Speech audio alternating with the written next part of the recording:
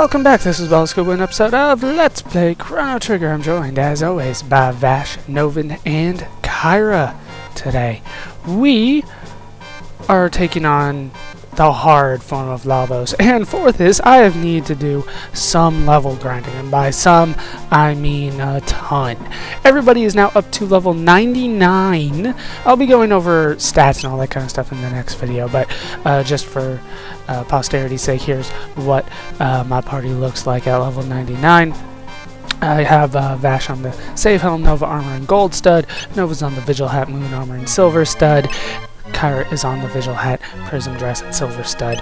Uh, Novin's on the Brave Sword uh, because we don't have the powered up Masamune, we only have the Masamune version 1. I'm not exactly sure the official title of it, but we don't have it powered up, so the Brave Sword is by far better. And we're not going to be using physical attacks anyway, so what's the point? Okay. We are ready to take on what is, in my opinion, and probably just standard uh, descriptions, uh, the second hardest fight in the game. Uh, we've all seen this before, so I'm gonna kind of rush through it a little bit. But this is the hard version of Lavos.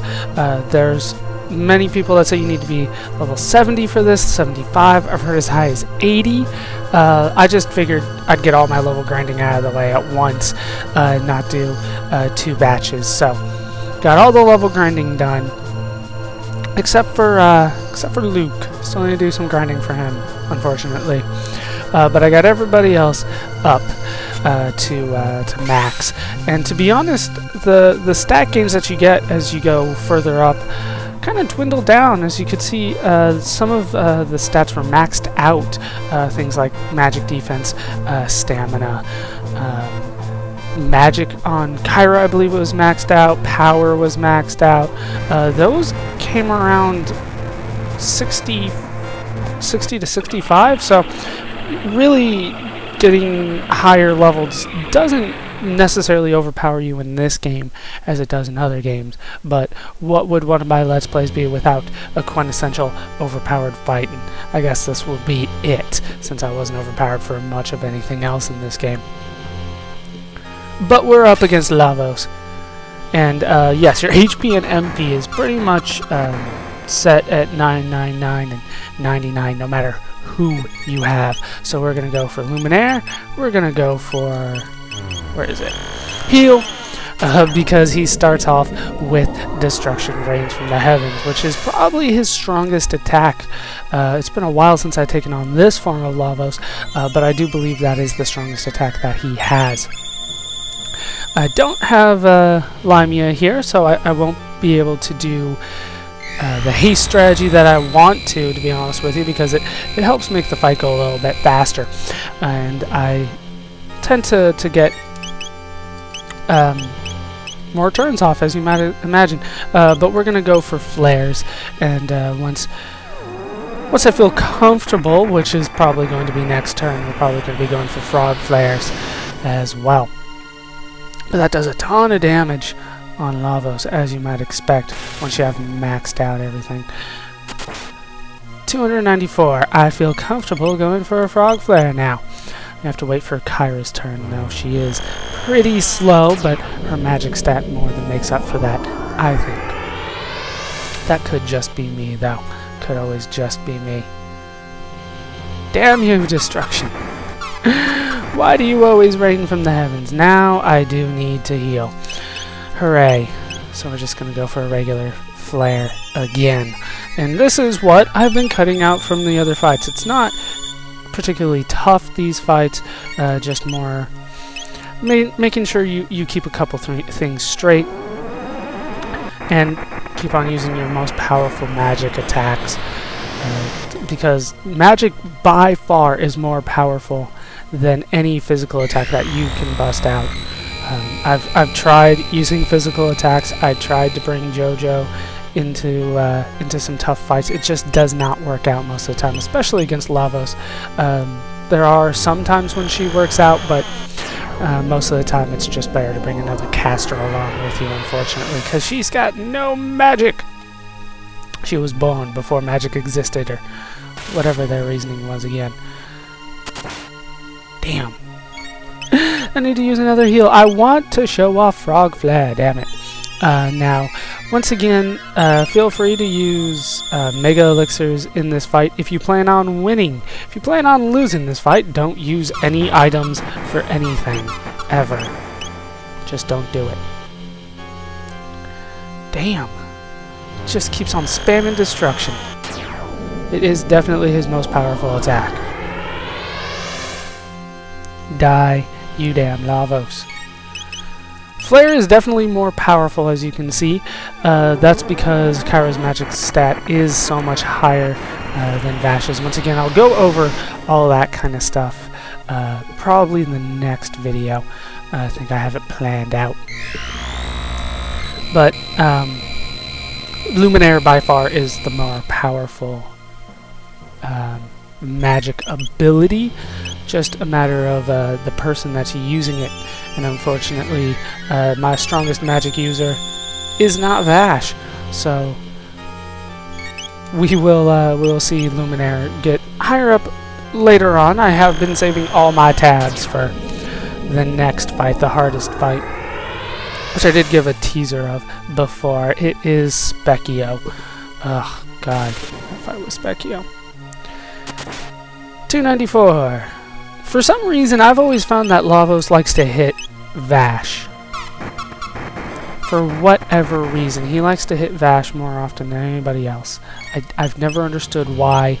Uh, it doesn't matter where I put him, because I, I, I, have had multiple setups, um, and and Lavos tends to, to go for, for Vash for whatever reason. Maybe that's just uh, my experience and that there's no actual programming for that, but it feels like there is. Definitely feels that way. Um, once again, if I did have more gold studs, I should probably farm those. Uh, just go through the game a couple times just to get three uh, gold studs. I would have those on instead of uh, the silver studs. But there you go. That's the fight with Lavos. Beating the hard version. And then, of course, this opens up the uh, the core. Can it be over? It is over. I wish it were over. Guess we have no choice but to go inside. This is definitely the hard version. Uh, unfortunately, that doesn't mm, end the game straight away. You still have to land inside. No save point in this iteration of Lavos either. Yes, you are okay. This is creepy. It's worse than Magus's place. Of course it is. Of course it is. But that's going to do it because we've already seen this ending, so I'll just see you guys in the next part. And I'm back, and I've done all the level grinding that I require in this game. Everybody is now max level, which means it's time for character comparisons. I'm going to be taking this opportunity to kind of compare uh, max stats because of the tabs in the game. Uh, I want you to see where the characters end up without tabs so that you can try to distribute tabs a little bit more evenly than maybe you would have without knowing um, how they are at the max level. Uh, so this is kind of important if you want to skip it. I fully understand. Uh, next video we will be taking on the toughest enemy in the game. God, that's going to be a tough fight. But for right now, we have a look at Vash. He has the rainbow sword on. I've given everybody uh, the their ultimate weapon, Eon equipment, uh, helmet suit, and then whatever accessory I could find that doesn't raise their stats. That just so that we could have an even comparison. Max. Uh, okay, Vash has max uh, power, stamina, and magic defense. Everybody, in fact, has max magic defense, so that is nothing special for him. Power and stamina, most people have, but not everybody.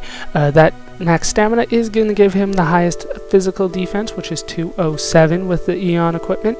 Uh, in terms of his speed, it's actually pretty high. He's got one of the higher speeds in the game, tied for second place, actually. But his hit percentage, surprisingly low. Tied for worst in the game. But at this point, you're not really going to be using uh, physical physical attacks really ever. Uh, his magic is probably the most surprising thing about Vash. His magic is very low, second worst in the game, 46. But he makes up for that with the most powerful spell in the game, which is Luminaire. Uh, I believe it is the most powerful in the game. So he might even though he has lower magic, abilities, I guess you could say, he will be probably out uh, damaging everybody else in terms of magic with the Luminaire. Except, of course, when it comes to Kyra, because she's got magic, and of course, she has Flare, which is probably very close to Luminaire in terms of damage.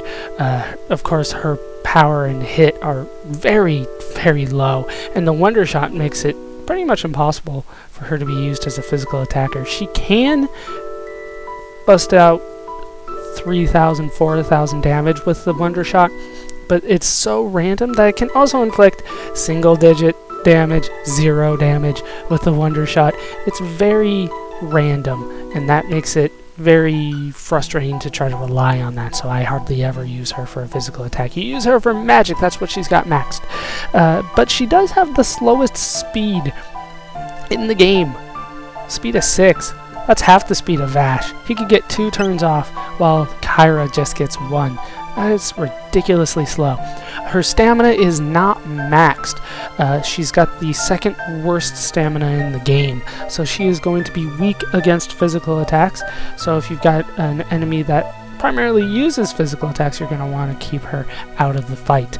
Uh, but of course, she does have the max magic defense, just like everybody else, else, so she shouldn't be taking more damage that way. Next up, we've got Lamia. Uh, she's on the Valkyrie, which gives her, to be honest, the worst attack in the game physically. Uh, she's not designed to be striking people with her crossbow. Uh, but she does have a very high magic stat um, there's only two people with max magic, uh, Kyra being one of them, so Lamia takes third place in that. Her stamina, however, is the lowest in the game. Uh, so, once again, physical attacker, you want to keep her out of there. Uh, in terms of speed, she's only faster than Kyra. Everybody else is faster. So, once again, high magic, but she doesn't really have a physical, uh, a magic attack that can utilize that very well. So, you know, maybe in the later stuff, later, uh, later fights, she's not as useful as you might imagine. Uh, once you get haste and all that kind of stuff off, she really starts running out of things to do. Uh, next up is Novin. He's on the powered up Masamune, level 2 Masamune, I think it's officially called, which gives him 243 attack, which is actually the third highest in the game, which is pretty damn good, especially if you equip that with the hero medal so that he can get a higher chance of criticals. But once again, physical attack's not very useful in this game in terms of hit percentage, how often he hits with that. It's low. Again, apparently, uh, Chrono Trigger believes that swords are pretty hard to hit with in this game. In terms of magic, he's actually ranked fourth. There's a huge gap between the top three magic users and everybody else. Um, Novin is the highest of the second tier magic users uh, with a magic of 56 and a speed of, of 11 is respectable. It's actually right around the middle. It's fifth um, in the game, so it's respectable. It's it's not bad. Of course, we can always increase that thanks to speed tabs, and then we could also increase his magic uh, for frog flare and all that kind of stuff. Uh, frog flare, frog squash, those are very powerful, very powerful indeed.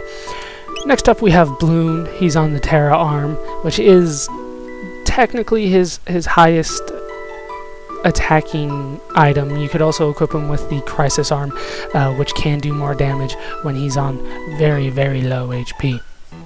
Uh, which gives him an attack of 215, the Terra Arm does, which is pretty high actually. It's, well, it's actually ranked 5th. So, no.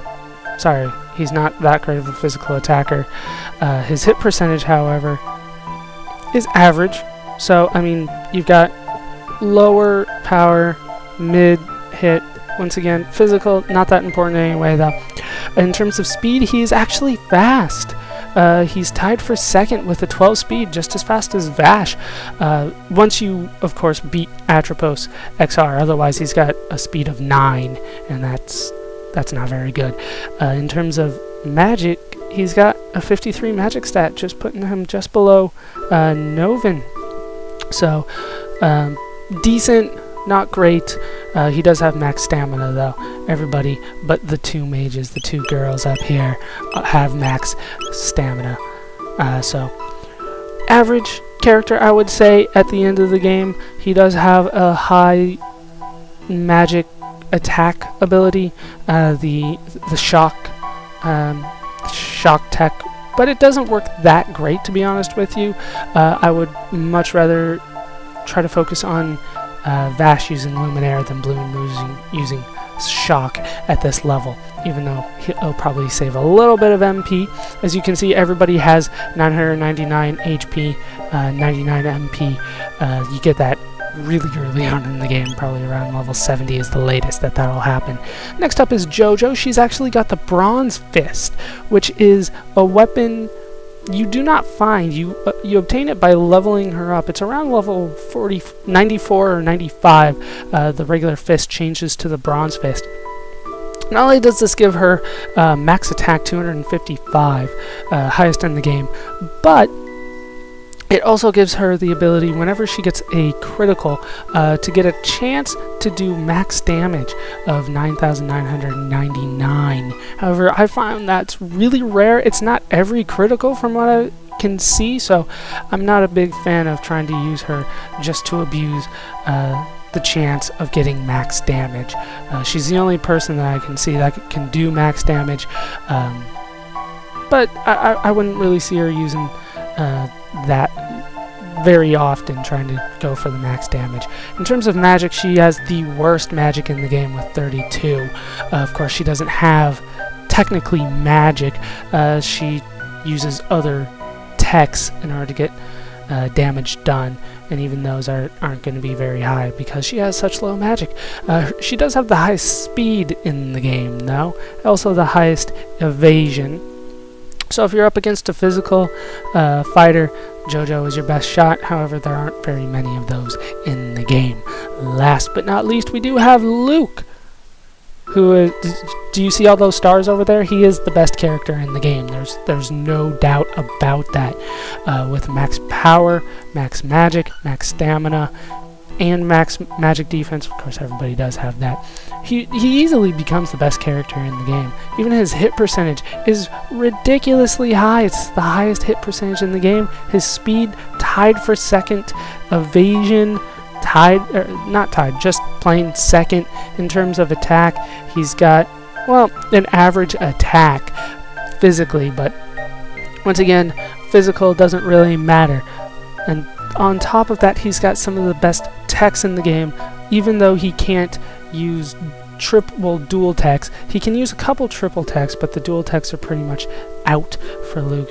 Uh, to be honest, you won't be using those very often. Uh, later on in the game, uh, you'll try to focus on the uh, single techs and then an occasional dual tech here and there. But by far the best character in the game. Luke. So, that is what you can look forward to if you can get up to level 99. Uh, so, just for the record, don't use any magic tabs or power tabs on Luke ever just he, he'll get max eventually. And that's something that you don't always think of. You always kind of think well i need to put a power tab into my power character uh, my physical attacking character. That is not true in this game because if you go up to the higher levels they'll have max and that tab will be wasted. Uh, so once again max power max magic on luke max power on jojo. Don't give her any power tabs Bloom, no power tabs. The only two people that you really should be giving power tabs to are Limia and Kyra. And it's not even useful for them. Power tabs are pretty much useless in this game once you get to a certain level. Unfortunately, magic tabs, on the other hand, are very good. Don't give any to Kyra. Don't give any to Luke. Everybody else can benefit from them, but Limia, you're going to want to hold back on them because she gets very close on her own, only up to a max of three magic tabs on her, and then you start wasting them, to be honest with you. Speed, though, you can give to everybody. Nobody has max speed. There's no such thing. The highest speed is 13. So feel free to give those to whoever you want. With all that done, I am finally ready to take on the toughest enemy in the game. And I will do so next time. Hope you guys have enjoyed this part of Let's Play Chrono Trigger. I've been Baller Scuba. I've been joined by my max party of everybody. Hope you guys have enjoyed this part. Hope you laughed. Hope you learned. Hope to see you next time. Thanks for watching.